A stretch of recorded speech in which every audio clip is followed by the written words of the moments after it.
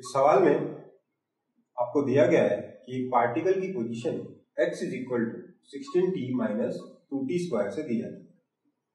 आपको इसका डिस्प्लेसमेंट और डिस्टेंस ट्रेवल पूछा गया है। Up to two and six दो से छह सेकंड के up to two seconds and up to six seconds आपको डिस्टेंस निकालना है और डिस्प्लेसमेंट निकालना है। तो इक्वेशन से डिस्प्लेसमेंट निकालना हमेशा आसान पड़ता है। इसलिए मैं पहले डिस्प्लेसमेंट निकालूँगा। मैं निकालूँगा position when time is equal to zero कितना हो जाएगा? जो हो जाएगा sixteen into zero minus two into zero square यानी zero position at x time is equal to two कितना होगा? Sixteen into two minus two into two square is equal to twenty four and position at time t is equal to six second कितना हो जाएगा? It will be equal to sixteen into six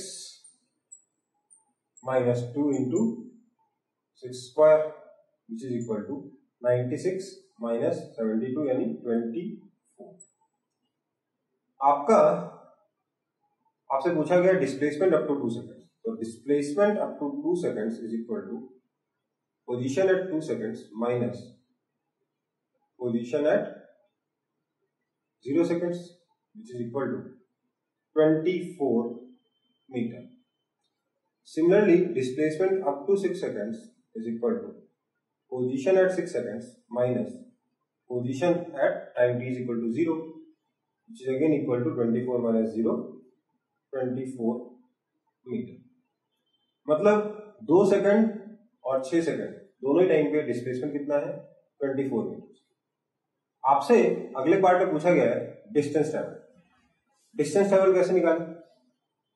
देखिए position निकालना आसान क्यों पड़ता है? क्योंकि position is simply final position minus initial position खत्म करना पर डिस्टेंस ट्रेवल के लिए आपको यह देखना पड़ेगा कि पाथ कौन सा लिया क्या पार्टिकल रास्ते में मुड़ा या नहीं मुड़ा? ये सब कुछ देखना होगा। और इसलिए हमारे पास क्या तरीका है? हमें पता है कि जब भी पार्टिकल टर्न अराउंड करेगा, उसकी वेलोसिटी ज़ीरो होगी। इसलिए हम कब कब उसकी वेलोसिटी ज़ीरो हो रही है, ये निकालें तो देखते हैं वेलोसिटी कितना होता है? It is equal to d x d t which is equal to इसको डिफ्रेंशिएट कर देते हैं टाइम के रेस्पेक्ट में।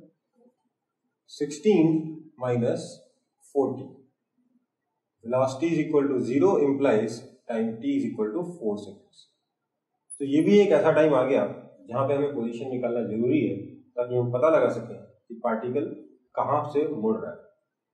तो देखते हैं। पोजीशन एट फोर सेकेंड्स कितना हो जाएगा? Position at four seconds will be equal to sixteen into four minus two into four square is equal to sixty four minus thirty two यानी थर्टी टू मीटर्स तो आपका position at four seconds भी आपको पता चल गया thirty two metres अब देखते हैं पार्टिकल का पाथ कैसा है। T is equal to zero पर पार्टिकल है x is equal to zero यहाँ से शुरू हो t is equal to two seconds पे ट्वेंटी फोर पहुँच गया।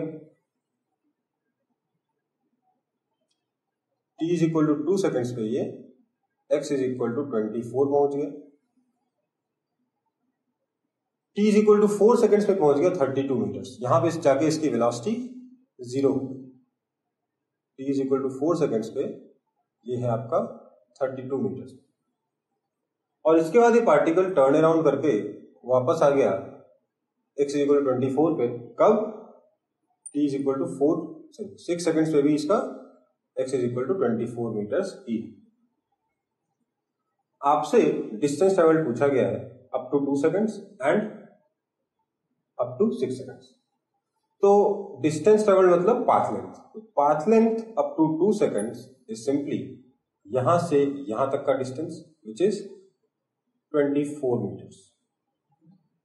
And but distance traveled up to 6 seconds मतलब path length up to 6 seconds. क्या हो गया? यहाँ से यहाँ गया, फिर आगे जाके पीछे आ गया। तो पाथ लेंथ कितना हो जाएगा? 24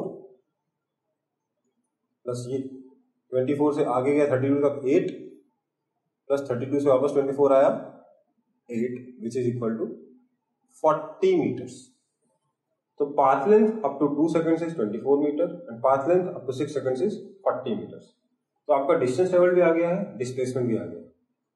दोनों आ गया है रिक्वायर्ड टाइम थैंक यू